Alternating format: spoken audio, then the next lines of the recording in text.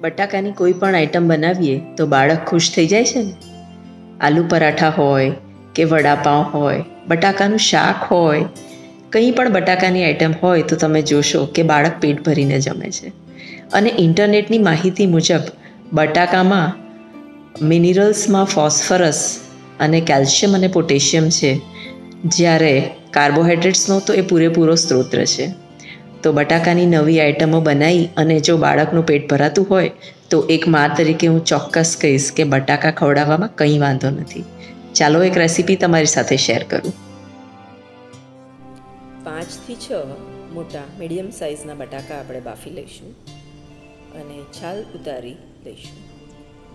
સાથે તેમાં તુવેરના દાણા પણ આપણે બાફી લઈશું. લીલા મરચાં અને ધાણા તો હોય જ. હવે આજે બાફેલા તુવેરના દાણા છે, તેને આપણે ક્રશ કરી લઈશું. મેશરથી કરો, ઓર અધરવાઇઝ તમે ચીલી કટરથી કરો. જેમ તમને અનુકૂળ પડે, તેમ તેને ક્રશ કરો. મેં અહીંયા બંને રીતે યુઝ કર્યું છે. આમાંથી કરવાથી અધકચરા રહે છે અને જ્યારે ચીલી કટરમાં કમ્પ્લીટ એનો માવો બની જાય છે. એટલે મેં બે ટાઈપના ક્રશ કરેલા તુવેરના દાણા લીધા છે. હવે આને આપણે બટાકાના માવામાં મિક્સ કરી દઈશું. સરસ તુવેરના દાણા અત્યારે લીલાછમ માર્કેટમાં મળે છે અને એને બટાકામાં આપણે ભેળવી દઈશું એટલે એક આલુ પરાઠાનું સુંદર સ્ત્રોત તૈયાર થઈ જશે. આલુ પરાઠામાં આપણી પસંદગી મુજબ આપણે મસાલો નાખતા હોઈએ છીએ. પણ નોર્મલી આપણે આની અંદર મીઠું ગરમ મસાલો લીલા મરચાં અને ધાણા તો હોય જ છે. આ લાલ લીલું મરચું, ગરમ મસાલો, મીઠું અને ધાણા. અને સાથે આપણા ક્રશ કરેલા દાણા. આ બધી જ વસ્તુ આપણે સરસ રીતે ભેગી કરી અને પરાઠા બનાવીશું. બટાકાની આઈટમ બનતી હોય એટલે બાળક આગળ પાછળ જ ફર્યા કરે છે. પછી એ નાનું પાંચ વર્ષનું બાળક હોય કે પંદર વર્ષનું બધાને બટાકાની આઈટમ ખાવાની ખૂબ મજા આવે છે. આલુ પરાઠા સાથે હું મારી ફેમિલીમાં દહીં, શિંગદાણાવાળું દહીં ઘણીવાર પીરસું છું, તો કોઈવાર લીલી ચટણી સાથે બધા આનંદ લે છે.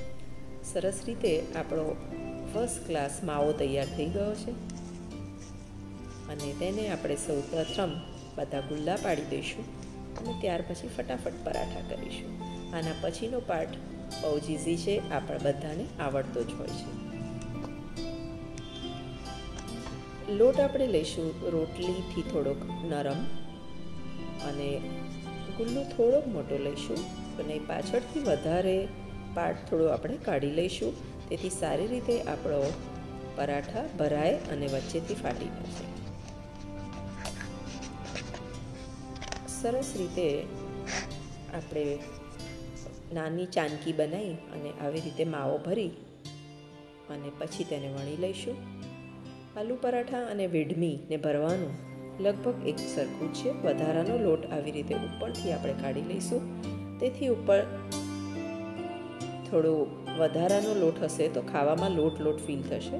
તો આપણે એને આવી રીતે સ્પ્રેડ કરી અને પછી વણી લઈશું. બહુ જ ઇઝી અને સિમ્પલ રેસીપી છે. પણ બટાકાની આઈટમ ખાવાની જે મજા આવે છે, એ બીજી કોઈ રેસીપીમાં નથી આવતી. સરસ પરાઠા આપણા બની ગયા છે. ચાલો તેને બંને બાજુ આપણે શેકી લઈએ. તમે બટર અથવા તેલ, ઘી જે યુઝ કરતા હોય એ કરી શકો છો.